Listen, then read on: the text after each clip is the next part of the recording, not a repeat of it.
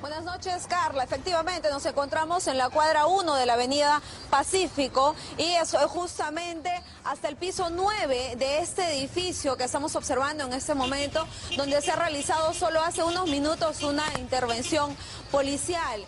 Eh, un sujeto fue detenido debido a que habría traído hasta este lugar a dos menores de edad, una de 16 años y su hermanita de 11 años. Justamente estamos viendo el momento en el que la policía interviene el departamento y logra rescatar a estas dos menores. El sujeto habría intentado forzado, las habría forzado a que ingieran bebidas alcohólicas y fueron los vecinos de este condominio quienes dieron aviso de inmediato a las autoridades.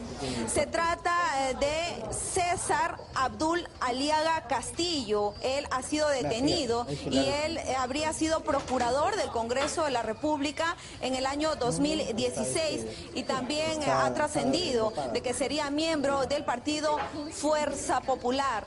En este momento ha sido trasladado ya por la policía hacia la comisaría de San Miguel y también se ha retirado de este departamento a las menores de edad.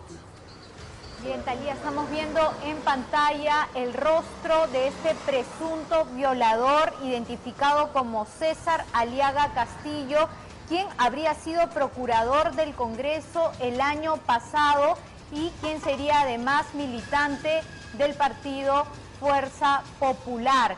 Esta persona, Talía, es la dueña, él es el dueño del departamento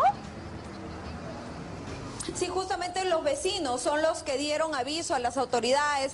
En realidad, eh, la mayoría de ellos prefiere mantener en reserva este caso. Hemos hablado con ellos de manera extraoficial y nos han dado estos detalles, ¿no? Muy bien, Pero eh, todo está en investigaciones, incluso eh, la identidad de ese sujeto, pero ya está todo en manos de las autoridades. Los efectivos policiales han llegado hasta este departamento, han rescatado a las dos niñas y el sujeto ya está en la comisaría de San Miguel. Muy bien, muchísimas gracias, Alía, por este reporte. Nosotros